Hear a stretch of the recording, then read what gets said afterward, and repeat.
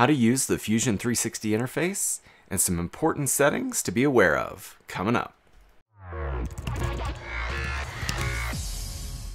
First, you've got your main data panel, and this is where you can see files that have been shared with you as well as all the files that you're creating. You can start a new project, and within a project, this is where we can upload or import files or start a new folder and further manage our designs. On the left, you have a browser. You can see the file name. You can see what's active when it comes to multiple components where you can select each one and make it active. You can expand and look at bodies as well as select this visibility control. This main command bar up here is where you can change between the different workspaces. You can do a lot in the design workspace where you're creating solid geometry as well as doing assemblies. But this is where you can access the cam space, generative design, simulation, and the rest. The timeline down below allows you to track your order of operations as well as go back and edit and reorder features as needed. Clicking a new tab allows a new design or new file. Coming down to the bottom, you're going to find a very important setting for beginners, and that is this grid and snaps.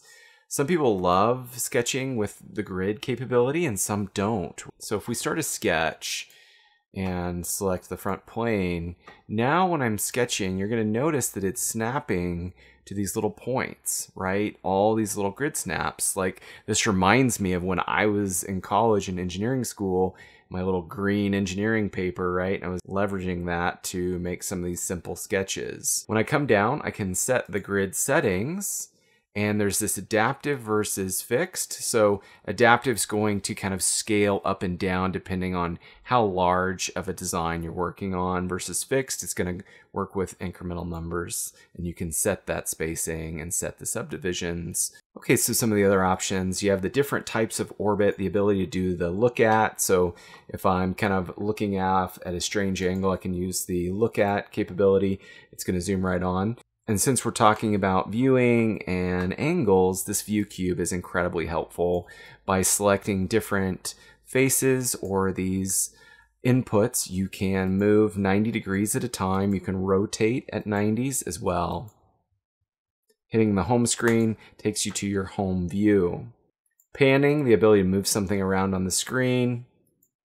Zoom to fit, I use this one all the time, especially when I've messed it up. I usually use it, uh, the shortcut on my mouse, but it's good to know it's F6.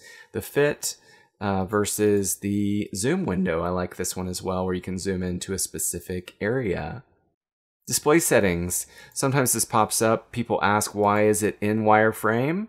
Why can't I see it in wireframe, right? So this is where you can access your shaded, shaded with edges wireframe. So how could I see four different views of the same design? Come down, find viewports.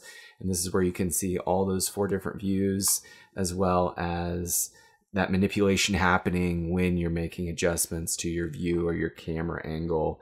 So this is a great way to get feedback. If you're trying to understand a complex design, you can see it in multiple different ways all at once. And these can be kind of configured, right? So I can come up and get this just how I need it and then adjust this uh, slightly differently as well. This is our notification. So if you are collaborating with someone or get a Fusion update, you can get that. And then job status. This one's very important because it lets you leverage the offline mode, which can be an advantage when you're working with spotty internet um, or for some reason you don't want your files syncing to the cloud um, as often. Check out the offline video that I did I'll link that down below. Before I get into preferences, I'm going to talk about the help menu. This is where you can find some existing tutorials that are have already been done by like the Fusion team. This is where the forum is. This is a great place to ask questions. The gallery is really cool. The roadmap, all of these are super helpful for growing your skill set. You can also launch the what's new and read up as well as they usually do a live video explaining all the new features. Okay, so jumping into preferences, just a few things I'm going to do. I'm going to do a separate video for settings in Fusion 360. So check that link below. I'll add that as soon as that's uploaded. But a few very specific things that you, the beginner, need to know about. The graphics driver, if you are having problems with your graphics card or your graphics crashing or Fusion crashing, there is that diagnostics that you can actually find in the help menu. Check that out. What about the offline cache period? So this kind of controls how long that your files are going to be stored to your hard drive and in the cloud, right? So uh, you might do 60 days, 90 days, dependent on how much room you have on your hard drive and if that is a concern. I like to keep my recovery time at five minutes. That's the lowest it'll go. That helps just protect me if my recovery and autosave are going more often. That in, in case I forget to save, then I might be able to capture my work five minutes ago.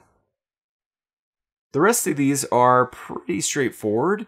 Um, the one thing to be aware of is do you want to zoom pan rotate like another software? So, for example, SolidWorks.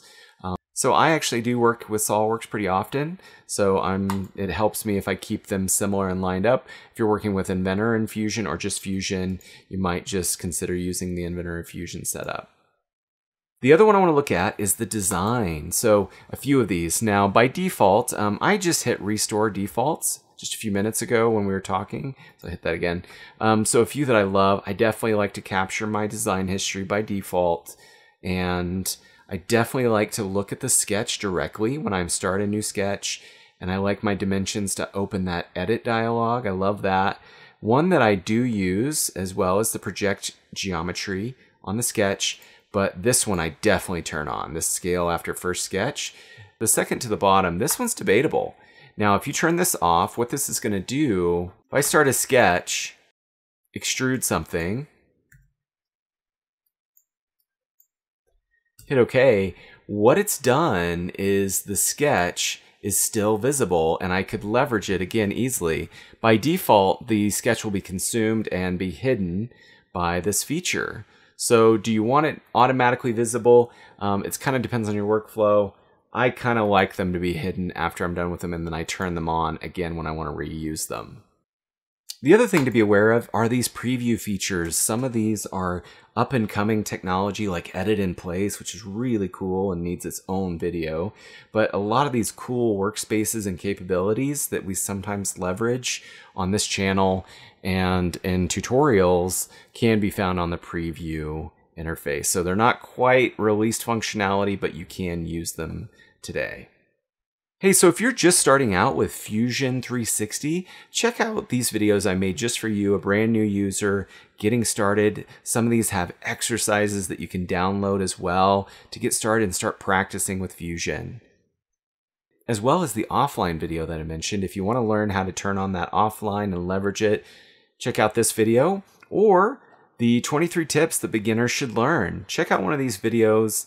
Keep growing. I'll see you in the next video.